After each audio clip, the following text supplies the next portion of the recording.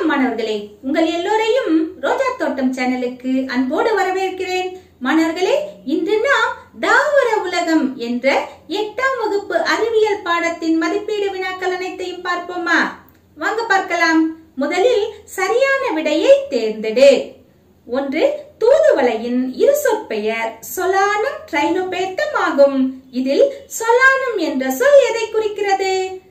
சரியான விடை சொலானம் என்ற சொல் பேரினத்தை குறிக்கிறது இரண்டு புளோரிடியன் ஸ்டார்ச் சேமிப்பு பொருளாக காணப்படும் பிரிவு சரியான விடை ரோடோபைசி அதாவது சிவப்பு பாசிகள். மூன்று கூட்டமைப்பாக காணப்படும் பாசி சரியான விடை வால்வாக்ஸ். நான்கு உண்ணத்தகுந்த காளான் சரியான விடை அகாரிகஸ் அதாவது பட்டன் காளான். பொத்தான் வகை அப்படின்னு சொல்லுவோம் இல்லையா? பொத்தான்னா பட்டன். அடுத்தது ஐந்து. மண்ணரிப்பை தடுக்கும் தாவரங்கள்.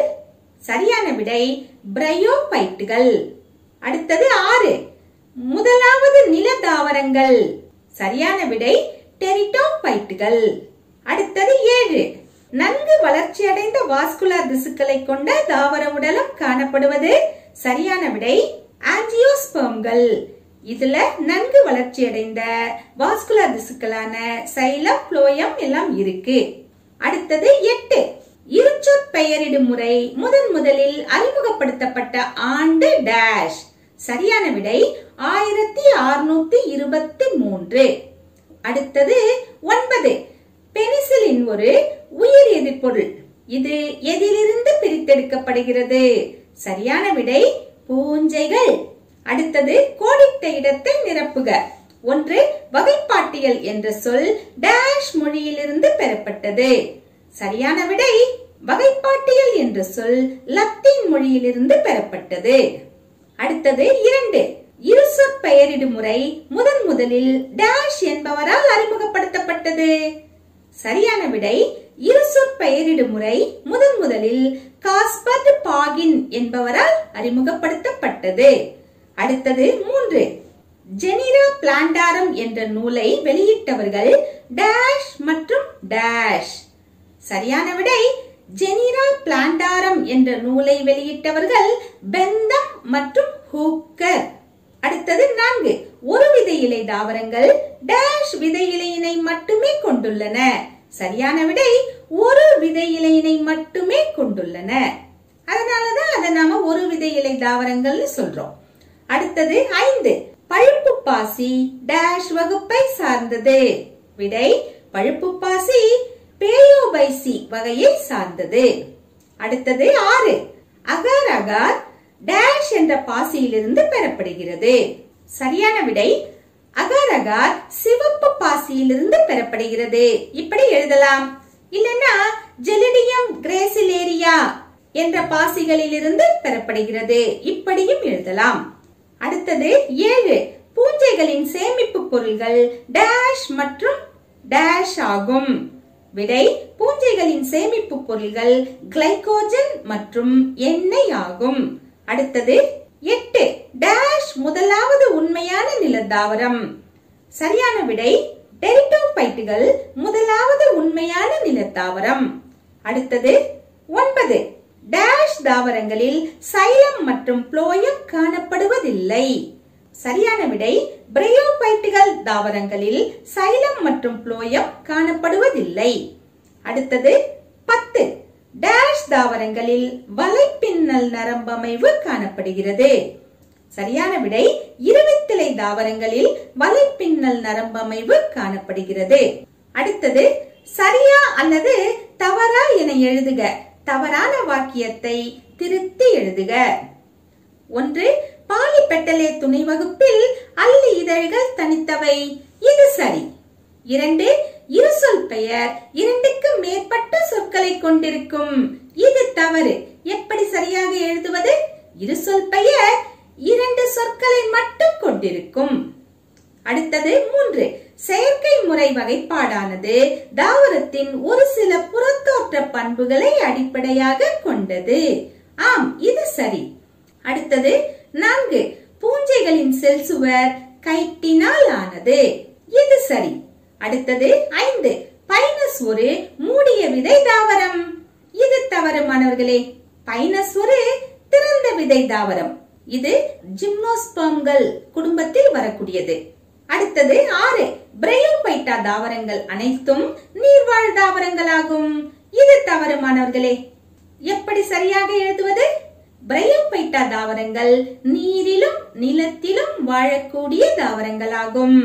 எப்படி தவளை நீரிலும் நிலத்திலும் வாழுமோ அதே போன்று தாவரங்களில் பிரையோபைட்டா வகைகள் நீரிலும் நிலத்திலும் வாழும் தன்மையை பெற்றுள்ளது. முக்கியமா இதற்கு நீர் மிக அவசியம் தேவைப்படும். அடுத்தது ஏழு இருவித இலை தாவரங்கள் ஜிம்னோஸ்பாம் தாவரங்களை விட நன்கு வளர்ச்சியடைந்த பண்புகளை கொண்டுள்ளன. இது சரி மாணவர்களே. அடுத்தது எட்டு. பிரையோபைட்டுகளில் மாஸ்கள் நன்கு வளர்ச்சியடைந்த தாவரங்களாகும். இது சரி.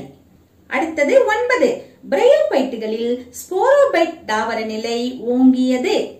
இது தவறு. எப்படி சரியாக எழுதலாம்? பிரையோபைட்டுகளில் கேமிட்டோபைட் தாவர நிலை ஓங்கியது. அடுத்தது பத்து. டெரிட்டோபைட்டுகளில் ஸ்போரோபைட் நிலை ஓங்கியது. இது சரி மாணவர்களே. அடுத்தது பொருத்துக. சயனோபைசி. இதனை நீலப்பச்சை பாசியுடன் பொருத்தலாம். குளோரோபைசி. இதனை பச்சை பாசியுடன் பொருத்தலாம். பேயோபைசி. இதனை பழுப்பு பாசியுடன் பொருத்தலாம். ரோடோபைசி. இதனை சிவப்பு பாசியுடன் பொருத்தலாம். அடுத்தது மிக சுருக்கமாக விடையளி ஒன்று தாலஸ் வரையறு. விடை தாவரவியலில் தாலோபைட்டா பிரிவினை சேர்ந்தவைகள் பாசிகள் ஆகும் இந்த பாசிகளின் உடலில் வேர் தண்டு இலை என்ற வேறுபாடுகள் கிடையாது. இந்த பண்புகளை கொண்ட பாசிகளின் உடலை தாலஸ் என்று அழைக்கிறோம். அடுத்தது இரண்டாவது கேள்வி. இருச்சொற் பெயரிடும் முறை என்பது என்ன? எடுத்துக்காட்டு தருக. விடை ஒரு உயிரினத்திற்கு இரண்டு சொற்களால் பெயரிடும் முறை இரு சொற் பெயரிடுதல் எனப்படும். உதாரணமாக மாஞ்சிபெரா இண்டிகா. இது மாமரத்தின் தாவரவியல் பெயராகும்.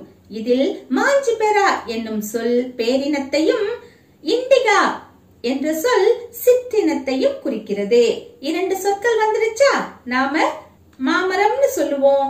ஆனா தாவரவியலில் மாஞ்சிபெரா இண்டிகா அப்படின்னு இரண்டு சொற்கள் அடங்கிய பெயரை கொண்டுள்ளது. இதற்கு பெயர்தான் இரு சொற் பெயரிடுதல். அடுத்தது மூன்றாவது கேள்வி. இருவித இலை தாவரங்களின் இரு பண்புகளை எழுதுக. இரண்டுக்கும் மேற்பட்ட பண்புகளையே சொல்லலாம் மாணவர்களே. எது எளிதோ அதை எடுத்துக்கோங்க. இருவித இலை தாவரங்களின் பண்புகள். விதைகள் இரண்டு விதை இலைகளை கொண்டிருக்கின்றன. இவை ஆணிவேர் தொகுப்புடனும் வலைப்பின்னல் நரம்பமைவு கொண்ட இலைகளுடனும் காணப்படுகின்றன. மலர்கள் நான்கு அல்லது ஐந்து அங்கங்களை கொண்டிருக்கும். அவை இதழ்கள் மற்றும் புள்ளி என இரண்டு அடுக்குகளாக பிரிக்கப்பட்டுள்ளன. இதழ்கள்னா அது அள்ளில வரும். புள்ளினா பசுமையா சூழ்ந்திருக்கு இல்லையா? அரும்பை சுற்றி. அது புள்ளி. மகரந்த சேர்க்கை பெரும்பாலும் பூச்சிகள் மூலம் நடைபெறுகிறது. எடுத்துக்காட்டு அவரை மாமரம் வேப்பமரம். அடுத்தது நான்காவது கேள்வி. ஜிம்னோஸ்பம் தாவரங்களின் விதைகள் திறந்தவை. ஏன்? விடை ஜிம்னோஸ்பம் தாவரங்கள் திறந்த விதைகளை கொண்டுள்ளன. ஏனெனில் இதனுடைய சூழ் சூற்பையினால் சூழப்பட்டிருக்கவில்லை. சூற்பை இருந்தால் மட்டுமே மூடிய விதைகள் உருவாகும். இங்கு சூற்பை இல்லாத காரணத்தினால் விதைகள் திறந்துள்ளன. அடுத்தது ஐந்து. பூஞ்சைகளின் ஏதேனும் இரு பொருளாதார முக்கியத்துவத்தை எழுதுக. பெனிசிலின் செபலோஸ்போரின் போன்ற நுண்ணுயிரி கொல்லிகள் பூஞ்சைகளிலிருந்து தயாரிக்கப்படுகின்றன. அகாரிகஸ் என்ற பொத்தான் காளான் புரதம் நிறைந்த உணவாக பயன்படுகிறது.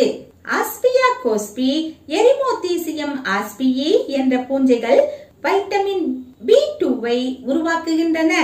ஈஸ்ட் என்ற பூஞ்சை சர்க்கரை கழிவை நொதிக்கச் செய்து எத்தனாலாக மாற்றுகிறது? இது மருத்துவத்துறை எரிபொருள் துறைகளில் பயன்படுகிறது. அடுத்தது சுருக்கமாக விடையளி ஒன்று இயற்கை வகைப்பாட்டு முறை பற்றி சுருக்கமாக எழுதுக. தாவரங்களின் பல்வேறு பண்புகளின் அடிப்படையில் இயற்கை வகைப்பாட்டு முறை உருவாக்கப்பட்டுள்ளது. பெந்தம் மற்றும் ஹூக்கரின் வகைப்பாட்டியல் முறை இதற்கு எடுத்துக்காட்டாகும். விதை தாவரங்களின் புறத்தோற்ற பண்பு மற்றும் இனப்பெருக்க பண்பின் அடிப்படையில் இந்த முறை வகுக்கப்பட்டுள்ளது. பெந்தம் மற்றும் ஹூக்கர் தங்களது ஜெனிரா பிளாண்டாரம் புத்தகத்தில் மூன்று தொகுதிகளாக இதை விளக்கியுள்ளனர். இவ்வகைப்பாட்டு முறை உலகம் முழுவதும் உள்ள உலர் தாவர தொகுப்பு நிலையங்களிலும் தாவரவியல் தோட்டங்களிலும் பயன்படுத்தப்படுகிறது. பொட்டானிக்கல் கார்டன்ல பயன்படுது? ஹெர்பேரியம் சொல்லுவோம் இல்லையா? உலர் தாவர தொகுப்பு. அந்த நிலையங்களிலும் பயன்படுது. அடுத்த கேள்வி இரண்டு. பாசிகளின் ஏதேனும் மூன்று பொருளாதார முக்கியத்துவங்களை எழுதுக. ஒவ்வொரு பாயிண்டா சொல்ற மாணவர்களே. விடை ஒன்று. ஜப்பான் இங்கிலாந்து இந்தியா போன்ற நாடுகளில் பாசிகள் உணவாக பயன்படுகின்றன. எடுத்துக்காட்டு அல்வா ஸ்பைருலினா குளோரெல்லா. இரண்டு. விலங்குகளுக்கும் உணவாக பயன்படுகின்றன. எடுத்துக்காட்டு லெமினேரியா அஸ்கோபில்லம். மூன்று மண்ணின் வளத்தை அதிகரிக்கின்றன. எடுத்துக்காட்டு நாஸ்டா அனபீனா. நான்கு ஆய்வகங்களில் பயன்படுத்தப்படுகின்றன. எடுத்துக்காட்டு ஜெலீடியம் கிரேசிலேரியா. ஐந்து அயோடின் தயாரிக்க பயன்படுகிறது. எடுத்துக்காட்டு லேமினேரியா. ஆறு விண்வெளி பயணத்தின் போது பயன்படுகிறது. எடுத்துக்காட்டு குளோரெல்லா பைரினாய்டோசா. ஏழு புரத உற்பத்திக்கு பயன்படுகிறது. எடுத்துக்காட்டு குளோரெல்லா ஸ்பைருலினா. அடுத்த கேள்வி பாசிகளுக்கும் பூஞ்சைகளுக்கும் உள்ள வேறுபாடுகளை எழுதுக. வேறுபாடுன்னு கேட்டுட்டாங்க. பாசிகள் ஒரு புறம் போட்டுக்கோங்க பூஞ்சைகள் மறுபுறம் போட்டுக்கோங்க. விடை பார்க்கலாமா? பாசிகள் தற்சார்பு ஊட்ட உயிரிகளாகும் அதற்கு பச்சையம் இருக்கு இல்லையா? அதனால தானே ஒளிச்சேர்க்கை செய்துக்கும் ஆனா பூஞ்சைகள் அப்படி கிடையாது. பூஞ்சைகள் பிறசார்பு ஊட்ட உயிரிகள் ஆகும் இவை நிறமிகளை கொண்டுள்ளன. இவை நிறமிகள் அற்றவை. சேமிப்பு உணவுப் பொருள் ஸ்டார்ச் ஆகும். சேமிப்பு உணவுப் பொருள்கள் கிளைகோஜன் மற்றும் எண்ணெய் ஆகும். சில பாசிகள் புரோகேரியாட்டிக் செல் அமைப்பை பெற்றுள்ளன. எடுத்துக்காட்டு சைனோபாக்டீரியா அனைத்தும் யூகேரியாட்டிக் செல் அமைப்பை கொண்டுள்ளன. எடுத்துக்காட்டு அகாரிகஸ் கேள்வி பிரையோபைட்டுகளில் எத்தனை வகுப்புகள் உள்ளன? அவை யாவை? விடை பிரையோபைட் தாவரங்கள் மூன்று வகுப்புகளை கொண்டுள்ளன. அவை ஹெப்பாட்டிகே ஆந்தோசெரட்டே மாஸ்கள் ஹெப்பாட்டிகே ஆந்தோசெரட்டே மாஸ்கள் அடுத்தது ஐந்தாவது கேள்வி. டெரிட்டோபைட்டுகளின் ஏதேனும் நான்கு பண்புகளை எழுதுக. ஒரு ஐந்து ஆறு பாயிண்ட சொல்ற மாணவர்களே. எது உங்களுக்கு எளிதா இருக்கோ அதை எடுத்து எழுதிக்குங்க. டெரிட்டோபைட்டுகள் முதன் முதலில் தோன்றிய உண்மையான நிலத்தாவரங்கள். கடத்தும் திசுக்களான சைலம் மற்றும் புளோயம் ஆகியவை உள்ளன. எனவே டெரிட்டோபைட்டுகளை கடத்து திசு பூவா தாவரம் என்று அழைக்கிறோம். இவை ஸ்போரோபைட் ஸ்போர்கள் மூலம் இனப்பெருக்கம் செய்கின்றன. இதில் ஸ்போரோபைட் ஓங்கு தன்மை கொண்டது. ஸ்போர் முளைத்து புரோத்தாலஸ் எனப்படும் கேமிட்டோபைட் சந்ததியை உருவாக்குகின்றது. இது தன்னிச்சையாக குறுகிய நாள் வாழக்கூடியது. அடுத்தது விரிவாக விடையலி. ஒன்று பெந்தம் கூக்கர் வகைப்பாட்டின் சுருக்க அட்டவணையை வரைக. நம்ம புத்தகத்துல பெந்தம் கூக்கர் வகைப்பாட்டின் சுருக்க அட்டவணைன்னு கொடுத்துருக்காங்க மாணவர்களே அதை அப்படியே நாம எழுத வேண்டியதுதான். அடுத்தது இரண்டாவது கேள்வி. இருவித இலை மற்றும் ஒரு வித இலை தாவரங்களுக்கு இடையே உள்ள ஏதேனும் ஐந்து வேறுபாடுகளை எழுதுக. ஒரு புறம் இருவித இலை தாவரங்கள் போட்டுக்கோங்க. மறுபுறத்தில் ஒரு வித இலை தாவரம்னு போட்டுக்கோங்க. ஒவ்வொரு வேறுபாடா எழுதலாம். எல்லாவற்றையும் நீங்க எழுதணும்னு அவசியம் இல்ல. எது ஈஸியா இருக்கோ அதை எடுத்து எழுதுங்க. முதல்ல இருவித இலை தாவரங்கள். விதைகள் இரண்டு வித இலைகளை கொண்டிருக்கின்றன. இங்கு விதைகள் ஒரு வித இலையை கொண்டுள்ளது. இவை ஆணிவேர் தொகுப்புடனும் வலைப்பின்னல் நரம்பமைவு கொண்ட இலைகளுடனும் காணப்படுகின்றன. இவை ஜல்லிவேர் தொகுப்புடனும் இணைப்போக்கு நரம்பமைவு கொண்ட இலைகளுடனும் காணப்படுகின்றன.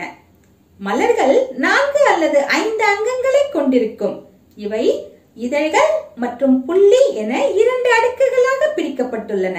மலர்கள் மூன்று அங்கங்களை கொண்டுள்ளன. அல்லி மற்றும் புள்ளி இதழ்கள் பிரிக்கப்படாமல் ஒரே வட்டத்தில் அமைந்திருக்கும். மகரந்த சேர்க்கை பெரும்பாலும் பூச்சிகள் மூலம் நடைபெறுகிறது. இங்க மகரந்த சேர்க்கை பெரும்பாலும் காற்றின் மூலம் நடைபெறுகிறது. எடுத்துக்காட்டு அவரை மாமரம் வேப்பமரம்.